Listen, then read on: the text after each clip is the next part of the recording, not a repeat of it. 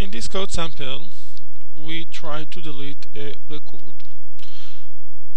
We have a separated method, its name is delete record, that should delete a very specific record. Well, the steps we need to follow in order to delete a record is um, uh, include creating an entity key object, an object that um, represents the, the, the key, the primary key of that record we want to delete. Instantiating the entity key class, we should pass over three arguments.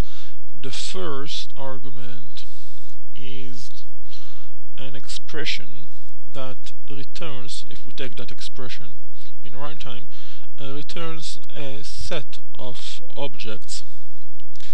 Here we should specify the key, the property, let's be more specific, the property um, that exists in each one of the objects, the, this set old, and here we should specify a value. Um, doing so, shall get an entity key object that represents a very specific entity that this set holds and that very specific entity has a property its name is id with the value 12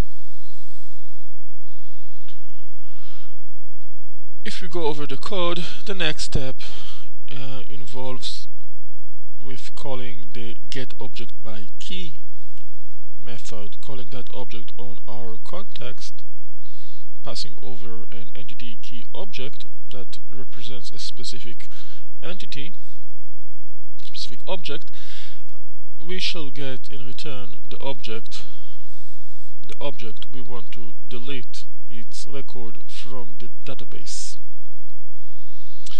The next step involves with um, calling the delete object method and the save changes method the delete object method will delete the specific record uh, course hold the reference for its object and then when the delete record method ends we shall get another list of all records and we expect that the record we have just deleted want to be printed out to the screen. So let's execute this code and see the output.